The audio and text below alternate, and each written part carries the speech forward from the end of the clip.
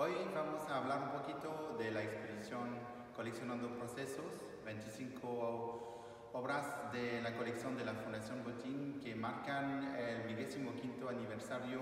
del programa de becas de artes plásticas que hemos empezado, eh, que cada, un, cada año eh, entrega, otorga